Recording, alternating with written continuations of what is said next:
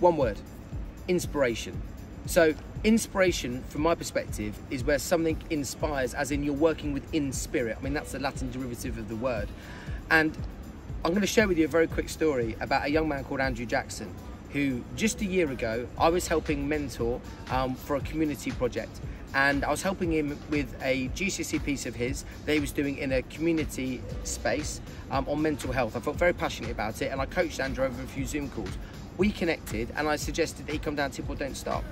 Andrew took that suggestion on board, that invitation, and he came down. He came down for the summer. He seemed to have a fantastic time. He felt fully inspired, fully motivated. And that, actually, he came to audition for our crew a couple of months later in September.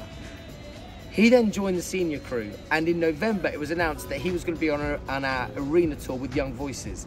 So, Andrew, who I met just six months prior, had now been selected on tour, and now here we are on tour. And Andrew performed on that stage last night. He's going to perform again uh, this night uh, in front of 20,000 people here at the amazing Manchester Arena. But it wouldn't have happened if you hadn't have taken that leap and been inspired to come to Hip Hop Don't Stop.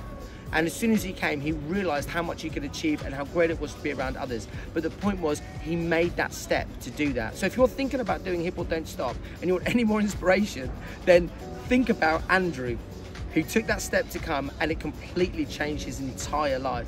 Now he's just done a 22 date full arena tour, seeing nearly half a million people, performing with people, his Urban Strides family that pick him up, make him feel fantastic and make him feel like he can achieve anything.